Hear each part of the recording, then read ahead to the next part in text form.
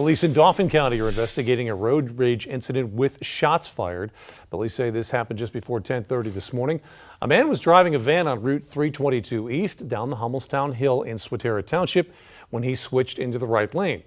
Police say moments later, someone fired four shots into the van, injuring the man.